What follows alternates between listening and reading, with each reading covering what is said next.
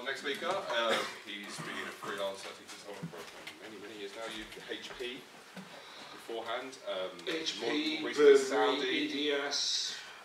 more recently in um, Saudi. Yeah, KAUST in Saudi. Um, one of the things Richard says is he, he likes to be sort of put under pressure quite a lot. In my So- contracting career, basically, I dump in the deep end and you either swim or you don't. So bear that in mind for the Q and A. Just shove in some really ridiculously hard ones sweat. Um, so, but first of all, please welcome Richard stage. He's talking about Zen and the art of work. Hello, everybody. Take a seat. Take a seat. So, Zen and the art of borrowing other people's work, eh? Well, I'm going to start with a disclaimer. There were no people or animals hurt during the events I'm going to describe, but I did have to put a few VMs down. So, I've got a serious point, but the talk itself is not serious. Feel free to laugh, throw fruit.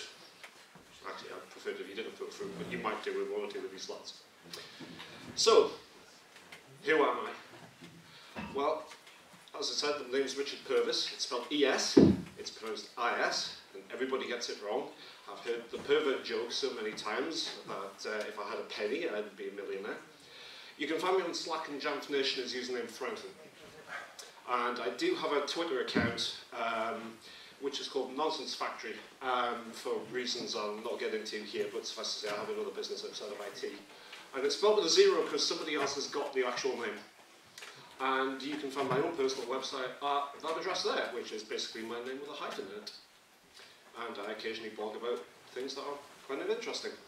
But in the end, I'm just another admin. I'm just one of you guys. So, what am I faffing about today? So, how to borrow things. And um, after we borrow things, I'm then going to tell you a few stories of woe. That's not the reaction I was expecting. I was expecting to have to yell, shut up, that picture's awesome, but fair enough. But it's okay, because we'll get some stories of triumph, and you see, the cat's fine. See, you know, the, the RSPCA got there in time. And from stories of woe and some stories of triumph, lessons learned. all aboard the failboat.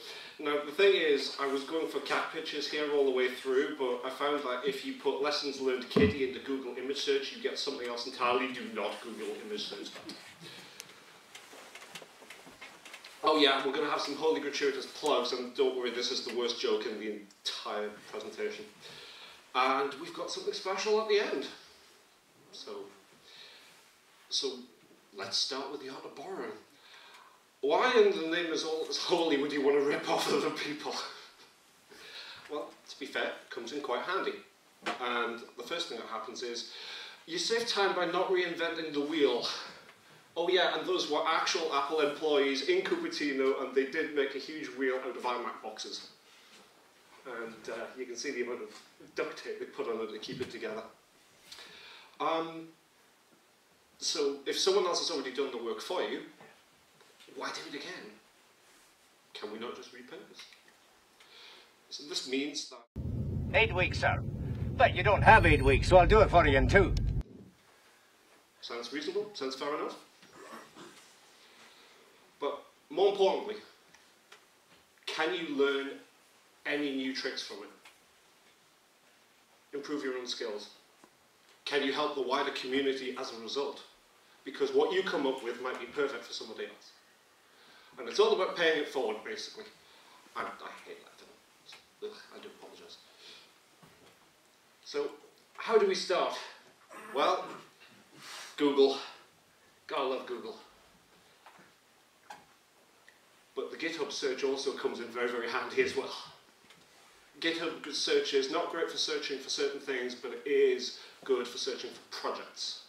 And since lots of people now are putting their stuff open source on GitHub, it's worth searching for projects and seeing what you come up with. Technical, technical blogs. Uh, I've got a big list of these. Charles Edge, who was on this morning, has probably the most complete list of technical blogs that are out there on his site, which is krypted.com. And I will provide links to all this stuff later. Twitter's always fun, but given the recent news about Twitter and everything that's going on, how long is Twitter going to last? Hence the reason I quite like that picture of the cat having eaten the bird. And of course, Slack. Used to be IRC, and when I first did these slides, IRC uh, was some of the channels was quite popular. Um, and then a couple of weeks after I finished the slides, Slack became more prevalent, and IRC just withered and died. So we're all on Slack. There's cards on the table. Please help yourself. Please come join us. So let's start with some uh, stories of woe. Yeah, this is an embarrassing one. So I was uh, tasked at one particular company. Uh, one of the tasks that they had was they wanted FileVault 2 via Munki.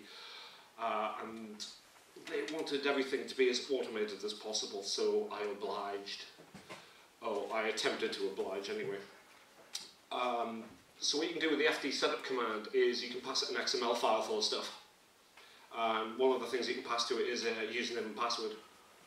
Uh, which is kind of handy if you're trying to, say, uh, put the local admin user automatically into FileVault and then put other people in afterwards. Um, one of the things you can do with Munki is it's got a post-install script, so when you set it to do things, you can then have it execute the script afterwards, which is where all this was happening. Just the slight problem is post-install scripts are cached on each individual client and they are cached in plain text and the folder's not locked down. So if you get one of these machines early enough and you're running this process, you've just got the local admin using username and password. Gulp. So we stopped using it, and then I handed it to my replacement because I then went to Saudi Arabia the following week. Um, so yeah, I was under timescales and I completely screwed up.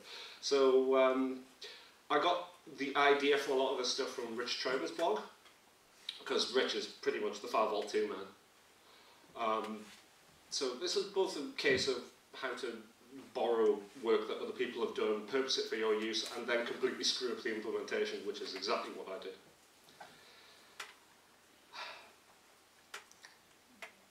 Anyone here use NetSUS? Anyone here had problems with NetSUS? You're shaking your hand. What, what sort of things happened? Um, I think the thing's caching but I don't want it to, and I haven't got it to stop caching. Okay, okay. I had problems with NetSUS, and bearing in mind this was the previous version of NetSUS, this was NetSUS 3, NetSUS 4's just come out. And at the place where I was working at, they had a bunch of eight-year-old Xserves uh, running Windows, you know, running Windows Server. Um, they were running uh, Apple Server on 10.5, and that's how they had NetBoot. And one of the things we wanted to investigate was, can we get rid of the Apple hardware because we can't get spare parts for it and it's all dying. Um, so we implemented and ran a proof of concept because at the time I was doing this, uh, BSDPy didn't exist. So NetSUS was basically it, and I did find some weird and wonderful, very old websites about how to get netboot running on Unix that date from 2002 for a version of Unix that probably didn't exist anymore. So we implemented and put it in, and put it in with an IP helper on a single user subnet, and then watched as imaging broke across the entire university. And we had no idea why. And we ended up pulling the plug on NetSUS, and I came away very, very unimpressed with NetSUS. Um, and it was only later on, because uh, Duncan McCracken, who uh, runs a company called Mondada down in Australia, uh, he did a talk at MacAdmin 2014 uh, on NetBoot where he literally pulled apart the entire NetBoot. And the thing was, he was pulling apart work that somebody else had done, and if you watch the video, and it is available on Max's uh, website, um, he does say that he ended up with as much hair as me, and uh, he invented a few new swear words. Um, my recommendation is to use either server app or BSDPy. And uh, Pepijn, who wrote BSDPy, is obviously with us, so you can grab him and pick his brains. Um, but like I say, it's only later when I found out why. So, NetBoot, Net, the NetBoot service has an imaging priority. Uh, and on server app, that priority adjusts itself depending on server load. and if you've set up a uh, netboot image with a high enough index number, it will then do automatic load balancing. problem with NetSUS is it's hardwired to maximum. And down here, where you've got the subnet mask and stuff, it's kind of cut off on this, unfortunately. Um, for NetSUS, to make NetSUS work, you have to put in, obviously, subnet and net mask of where it's going to be listening to. So if you populate this stuff, and even if you don't have an IP helper, it actually still causes problems. And like I say, the more people put stuff in that, and I couldn't do the correlation at the time, uh, the more imaging went off. So, so this is actually a screen grab from Duncan McCracken's talk at MacSysAdmin 2014, and this is where he starts pulling apart the DHCPD conf that makes NetSUS work. And these two bits here, it says FFFF are permanently hardwired to the maximum priority available. So NetSUS basically doesn't cooperate with anything, and it doesn't cooperate very nicely at all. Real shame. But we get some good triumph stories next. Um, automating Mac server app builds. So again, same place, decided not to use NetSUS, going to put in Mac Minis instead. And realised that the server build process that I had um, used to take four to six hours to complete per server. And I realised that a lot of this stuff is actually kind of automatable. And it was so automatable that I put it all in GitHub.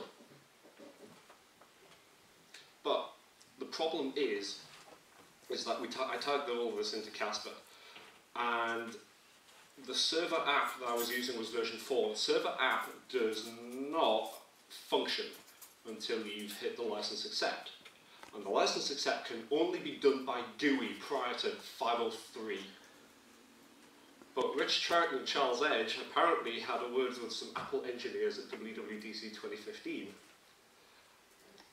And as a result, they got a command line based license acceptance. Ah, that's exactly what I'm looking for. And then went, damn it, he's beat me to it again. So, if you can't beat him, borrow him. He posts up the code, and as a result, if you have a look on my GitHub and you find that script, Rich and Charles get full credit for solving that issue. And I put in the note to say that they did it and a link to their blog of where all that information came from. And it was one less thing on my feature list. Unfortunately, I don't have access to Casper anymore, so development's kind of stalled, but either way. So on the basis of a fairly major issue that I had, because it meant you had to have a separate monolithic image to do it, what that means is success.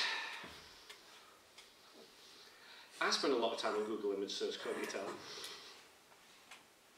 Um, my favourite one's next though, which was, um, it's been mentioned this morning, Lachlan Stewart's Patchoo project. For anyone who's using Casper, uh, Patchoo is a kind of a way to give Munki type functionality on Casper. Um, and it's probably the most complicated bash script you'll ever see. But it does the job, and it does the job very well. So, as Ben here mentioned this morning, uh, Lachlan forked um, Cocoa Dialog so it could uh, run over the login window and log out. Uh, because until this point, um, Patchoo was using some what I consider pretty nasty Apple script embedded into Bash in order to make dialogue appear at certain times. And then he was using Cocoa Dialog for the rest of it when it was uh, appearing over the GUI. Um, was also using the old way through the Casper API of identifying a machine by MAC address. Um, now, as I'm sure you can appreciate with laptops like this, they don't have built-in Ethernet ports anymore. They've got removable dongles. So anyone who's ever dealt with Casper and removable dongles knows what a pain that was until Casper 9 when Jamf started using the UUID as the identifier. so I go through and I use his and I fix it. And I had a little spare time at the time and I posted to GitHub and I sent him a nice message. And Lachlan is a wonderful Australian, and Australians are quite a forthright people. I do admire them for that. But I love the message he sent me on Slack. How have I written this without access to a JSS? so, you know, sometimes when you contribute back, you get some nice messages. I thought that was pretty funny at the time. So when we get to lessons learned from all of this, the first thing I learned is I ran out of Zen and Cat pictures at this point. but more importantly, um, running things like NetSUS and running projects blindly in place and expecting it to work first time is a guaranteed recipe for fail. And I've failed in some fairly major ways. Like I say, depriving a university of imaging until we turned the server off was pretty bad. But you don't learn unless you try. There's a lot of people out there who will try something and go, oh, it doesn't work. Nobody does the investigation work. The, the whole netboot thing drove me mad for months. And then I saw Duncan McCracken's talk and went, that fits. so it's always worth showing your investigation work before asking for help. Um, I have a terrible reputation with um, Apple Store Genius bars because uh, I had a broken phone, went up to them and said, what have you done? And I'd give them a long list of stuff and the guy would sigh and just go, just get another one. The British Army 6Ps, anyone heard of that? Um, sorry, I'm going to swear here. Proper planning prevents piss poor performance. So plan it all out first, don't leap in blind. Again, I've done that, learn from me, please. Um, and knowing how to take it all back, how to revert everything when it all goes horribly wrong is a major plus. Um, I've been part of too many IT projects where they didn't have a reversion plan and they needed it and sure enough that's the point where the users start phoning up in droves and the last thing that anyone wants is angry people yelling at them down the phone. I spent too many times in call centres doing and dealing with that.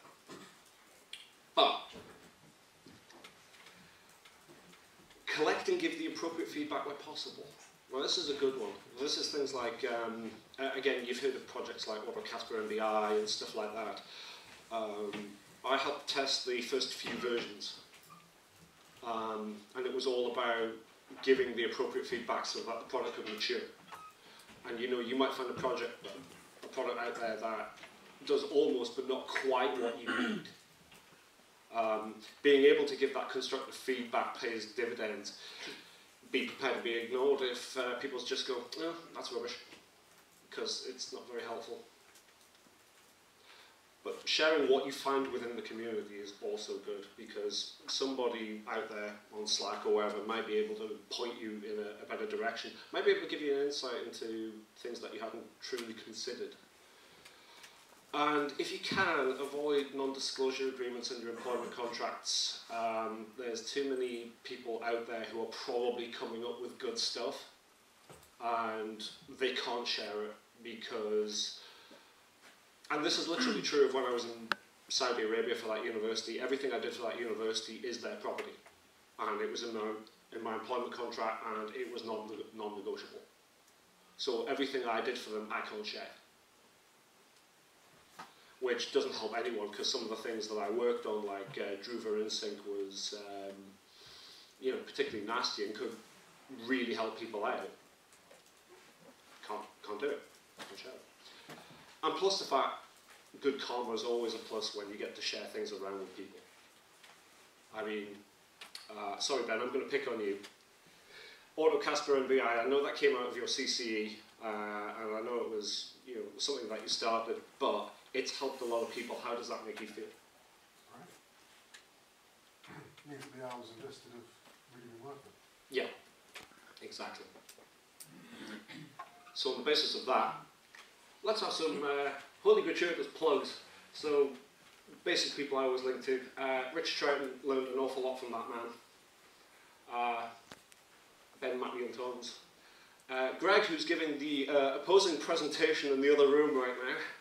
Um, yeah, in the early days when I was trying to learn about MCX and stuff like that, he's got a lot of stuff on there uh, from the early days that's still potentially quite relevant. Um, he does postmodern stuff as well, and also he's the guy behind Munki. Uh, Charles Edge, who you saw this morning. The second encrypted link is the Mac admin links. He's got, probably got the most comprehensive list of uh, links to Mac admin blogs and stuff like that that, that I've seen from anyone. And it's well worth going through. And I know I managed to get on there, and I'm not entirely sure how. Jamf Nation, um, Jamf Nation, even if you're not a Jamf customer, is still a good place to search because people are posting scripts on there and they don't necessarily be Jamf specific. So if you're using open source tools, it's possible to find things on there that you can use, and it's always good to say thank you. We even occasionally get Windows questions on there. We can't help, but you know, we do, we do get them. And of course Slack, and that's the link to uh, sign up to sign up to the Mac admin Slack.